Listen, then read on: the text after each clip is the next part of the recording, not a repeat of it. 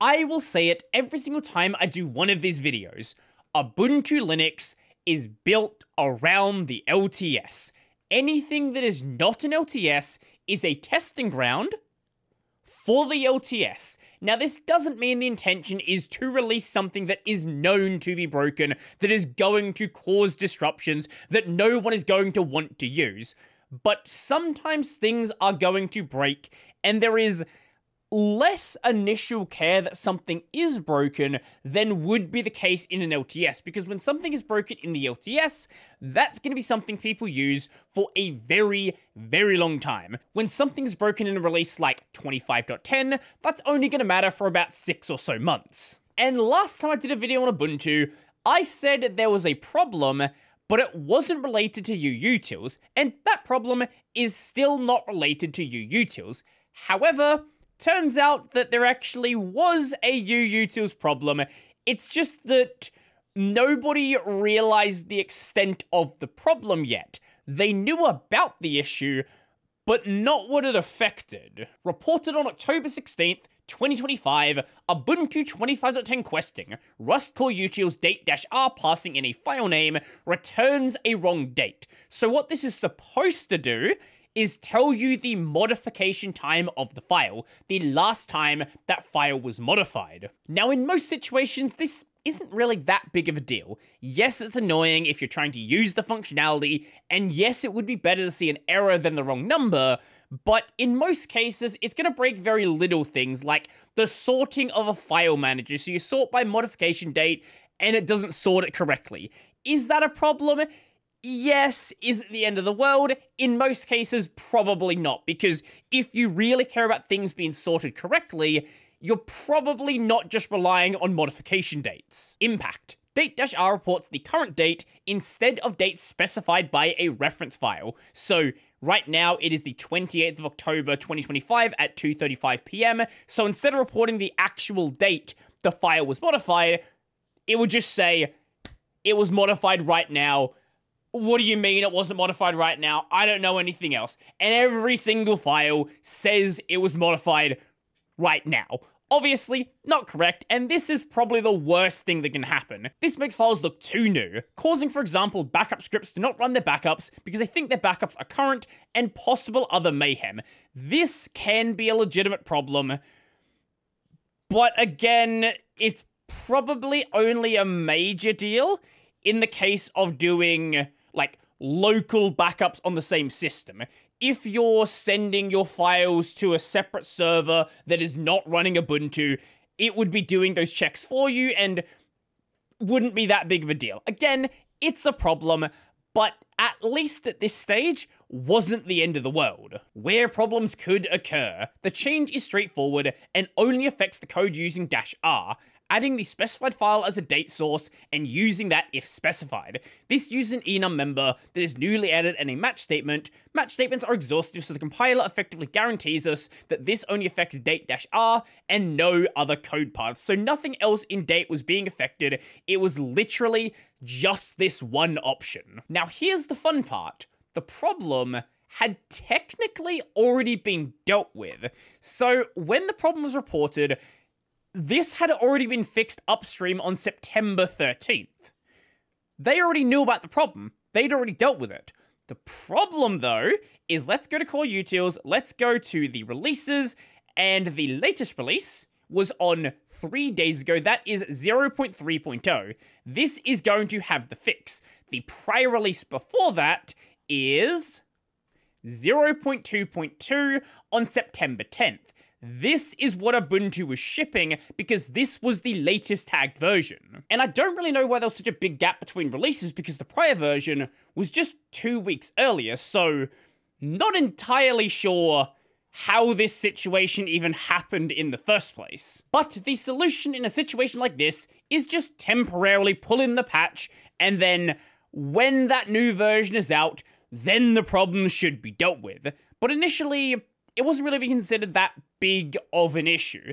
It's something we should deal with, but it's not like a crazy critical issue. This is fixed upstream in this commit right here, and we can pull this in at a later point in time. For the time being, we'll focus on fixing critical issues that could introduce unsafety further down the chain, such as the short writes in this bug over here. I do not anticipate there are a lot of shell monitoring scripts, particularly in 25.10, as this is not an LTS release, for the upcoming LTS release, this is of course a higher priority item, given more enterprise use cases. Again, like I've always been saying, the LTS is the main focus because that is what the enterprise users actually care about. Okay, I understand and agree with the decision about the priority of this problem. In our case, I thought it was important because it's a silent problem. I mean that as it doesn't fail, no errors, just gives incorrect but usable info. Problems are unexpected at further chain, so it's still giving you a date, but it's not giving you the modification date, it's just giving you the current date. So any tools that you use in your chain, anything that interacts with date-r, isn't going to notice anything is wrong. It's going to behave perfectly normally. It's just nothing that involves having something be older or newer is going to function, but it doesn't error out. Nothing looks like it's going wrong. For instance, we have a monitor for a couple of files we want to know if they'll change during the day, and we started receiving warnings about these files being updated today. Now, if they were updated today, that's fine, but all of the files that were being monitored all said they were updated today, regardless of what was done. The real problem we faced was silent, our daily backup procedure is only done when our previous backup was old enough daily, weekly, etc. So as the previous backups are being identified as done today, there was no backup at all and no errors. Without the previous problem detected, we wouldn't detect the backup problem unless we need a backup too late. Thank you very much, and best regards. Yes, I did not consider that too new is a failure case for is this outdated, which may be a problem, so I bumped it to high, so going from medium up to high. The fix is easy as well. We should be able to land this quickly like the other patch we did for DD, because the work had literally already been done. Now, whilst work for this was going on, whilst things were being tested, whilst things were just making their way through the proposed repo, someone actually noticed the other thing that this was breaking the much more relevant issue that this was causing. Right here, this bug breaks unattended upgrades in 25.10 apt.systemd.daily checks if the modification date of the timestamp file var lib apt periodic update dash stamp is older than the current date minus an interval. The difference is always seen as zero because it's always taking the current time, and unattended upgrades never run. So it turns out there actually was a very important script on Ubuntu, a very important file on Ubuntu, where making sure the modification date was set correctly was actually really, really important. So this went from being marked as a high issue to a critical issue and public to public security, because this is now a security related issue. This is a situation where users who are only running unattended upgrades are not having a system that is getting updated. That is a big deal. And because this is technically its own separate issue, even though it's being caused by this problem, as the author said here, they have now gone and created this one.